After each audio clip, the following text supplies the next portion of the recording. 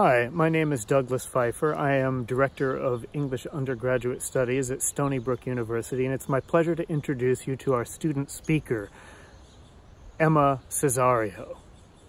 Each year, our department's faculty chooses one graduating senior to receive the English Departmental Award, which brings with it the honor of delivering the student address. This award is for a student who's demonstrated outstanding academic achievement in English and has undertaken significant service to departmental culture. Although our group of candidates was remarkably strong this year, the award committee was unanimous in the decision to grant it to Emma. She has already received many of Stony Brook's highest accolades. She is recipient of the Stony Brook Academic Achievement Award two times. She's been on the Dean's List and in the uh, university's Honors College from 2016 on. She's graduating with English honors, having written a brilliant thesis on Jane Austen. And in the past year, she has served as co-president of Alpha Nu Zeta, the Stony Brook English Honor Society. A term of service I can happily report that during which she fully revitalized the Honor Society by recruiting no fewer than 40 members. All this is beyond enough to earn her the award, but I should mention here that her commitment to the larger academic community well exceeds the English department and her particular chosen curriculum. She has delivered papers, for example, at the SUNY-wide Applied Learning Conference, and by all reports, um, was one of the central most presenters in that event. She also uh, presented at the Modern Language Association in 2019, the, the MLA, the Modern Language Association, being the central institution of the study of the modern languages.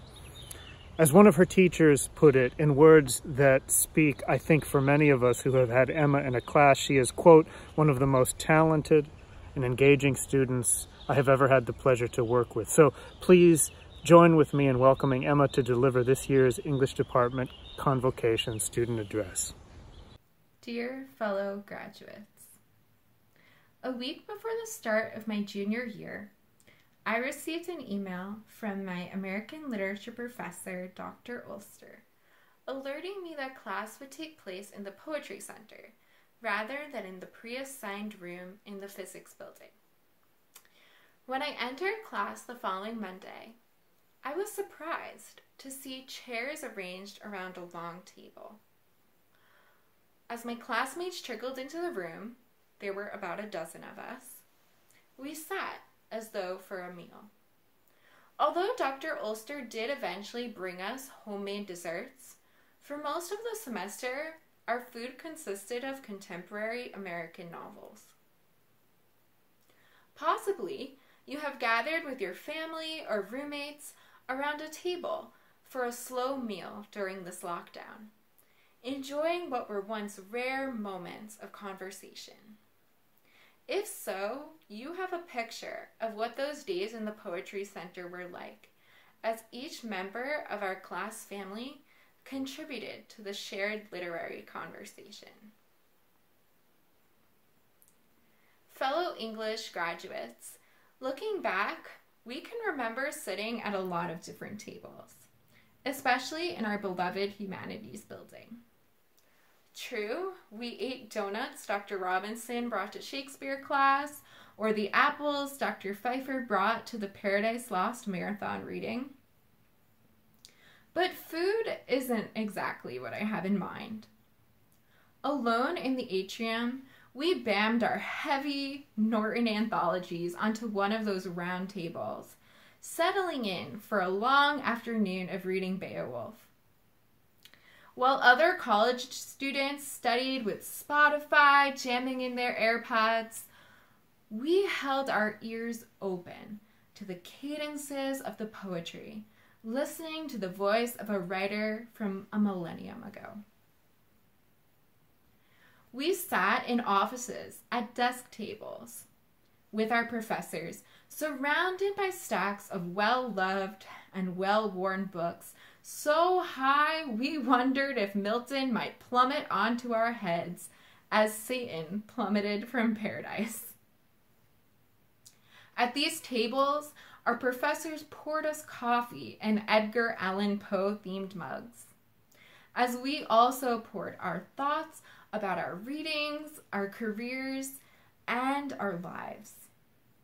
And just as we listened to the voices of Jane Austen and James Joyce, Hughes and Hawthorne, so our professors listened to us as the minutes passed into hours and the coffee mugs were emptied. Later, the conversation continued, even as our professors sat alone at their office tables, listening to our ideas and insights in our papers. As they sat there marking our essays, they were working tirelessly to improve our craft of expression, diligently training us to hold our ears more closely to the test, the text. But they always valued our voices and gave their ears fully to the stories we've told through our literary interpretations. And we listened to them too. Sitting at tables in lecture halls, we learned from their expertise and research, amazed at how much clearer Wordsworth seemed after a lecture with Dr. Manning, and how grammar just made sense after going to 207 with Spector. In these same lecture halls, our professors ran up and down the stairs with a microphone, making sure each student's thoughts were heard. Thank you, Dr. Shekel. Even in the time of Zoom University, when the word microphone has taken on a whole new meaning, we are still participating in the literary conversation sitting in our pajamas at our kitchen tables with Shakespeare balanced next to our homemade banana bread, literature reminds us that we truly are not alone. And we are inspired to tell our own stories about today's hardships, knowing that this dialogue between the reader and the writer, the listener and the speaker, this is what leads us to greater compassion, truth, and hope. In Leaves of Grass, Walt Whitman invites all people to sit at his table. This is the meal equally set, he writes.